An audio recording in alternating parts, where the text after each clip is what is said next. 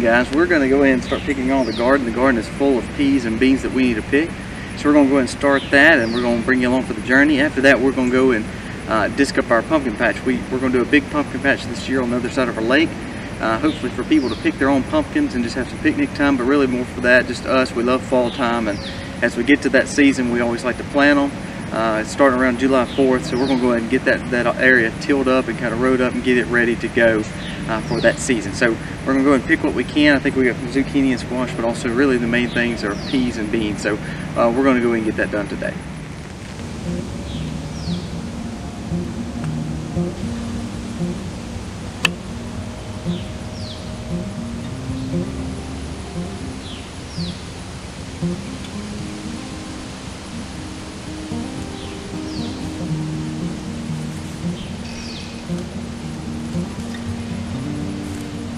Some of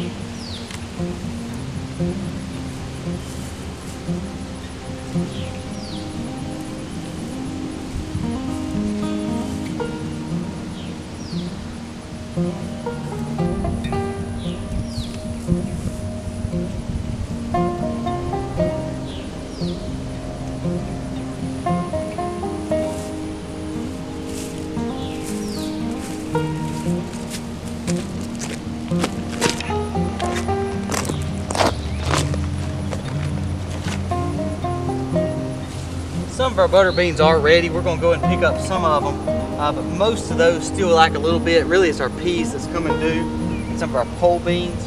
But uh, we were gonna check some of our beans, uh, our butter beans, just to make sure they were okay. Like there's a few that's that's ready, so we're gonna go and pull those uh, and make sure we have those coming in harvest uh, probably the next week or so.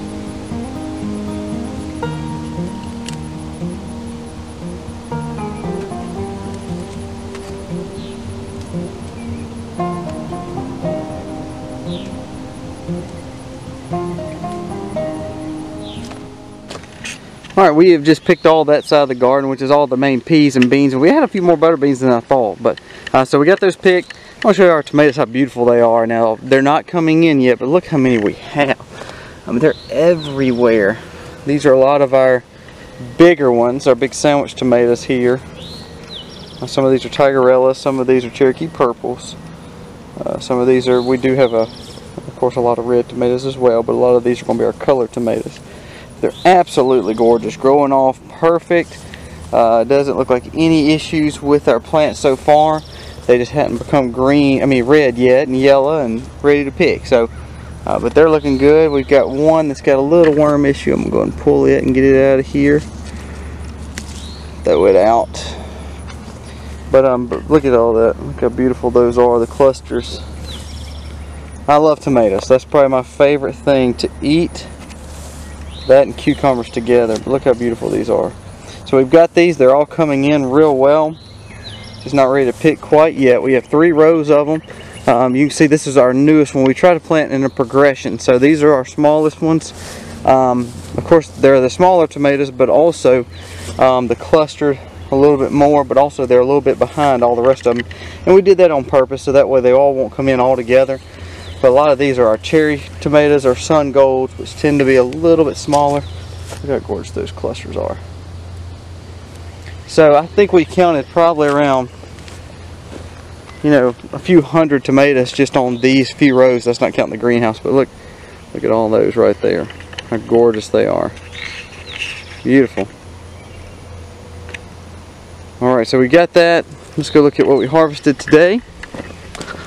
We got a few zucchini, about six or seven zucchini, which is again, we've been getting about six or seven a day, which has been wonderful, but we've been eating as we go. A few okra, we've been getting about 20 to 30 okra a day.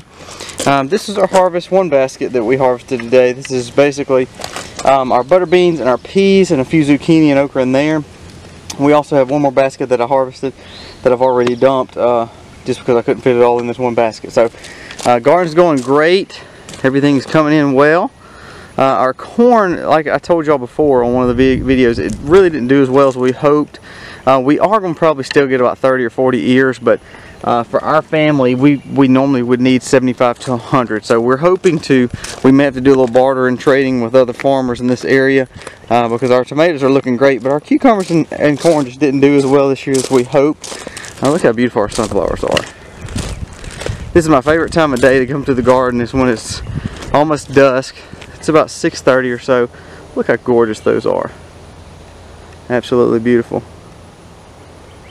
So they're looking great. We've been cutting those and selling those at the market and also uh, basically having uh, some on our table and there's nothing better than walking in and seeing Misty having fresh cut flowers on our table. It's just beautiful, beautiful. So uh, last thing we're going to do today is we're going to go ahead and till up the spot for the, the pumpkins and get it back ready.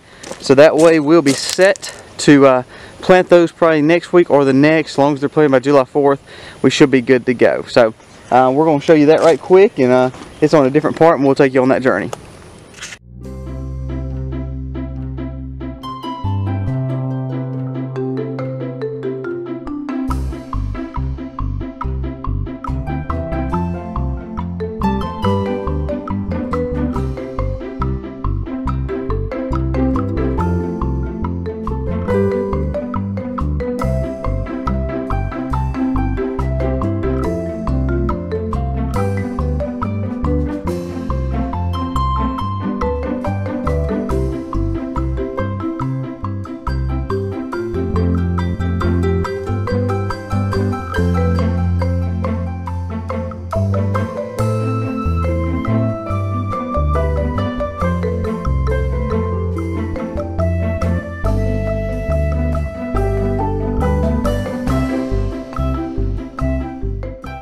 Alright, as you can see, this is just an open pasture. Um, this is where we'll actually plant our pumpkin patch.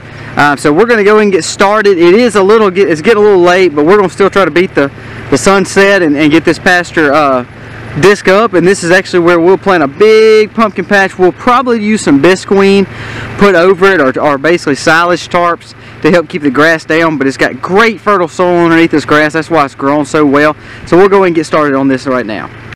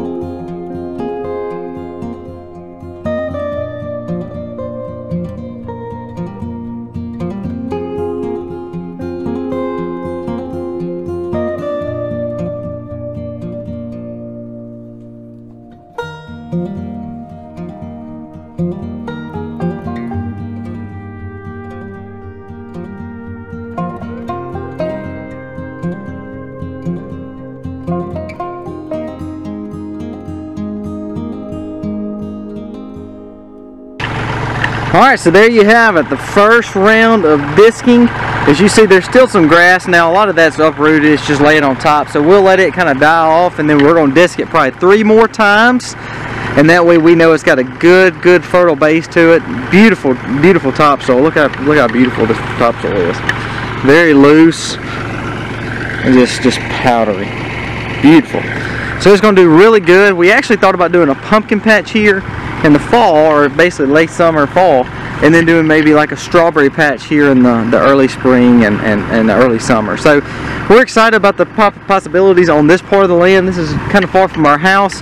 Uh, I mean it's just through the woods but it's the very very far end of our property so it's a the, the opposite 40 acre part that uh, that we're actually on with our house. But it's close to the lake as y'all see and just a beautiful little area through here. Um, it really is but but again uh, we're excited about this. So uh, just wanted y'all to see this and again as this progress goes on you'll see it in other videos.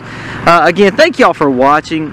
Uh, if y'all ever have any questions about what we do or comments please leave them below and we'd love to answer them uh, if you haven't subscribed to us please do. We'd love to have you. Uh, watch our videos and and, and basically get to know us as we get to know you. But we hope you have a wonderful evening. And again, we did beat the the sun, so it worked out really good. But we'll go over this again probably tomorrow and then the next day, and then we'll probably put a piece of uh, um, tarp or, or basically like a silage tarp down, and we'll probably let the pumpkins grow through it this year. But again, I hope you have a wonderful evening. Happy homesteading, y'all.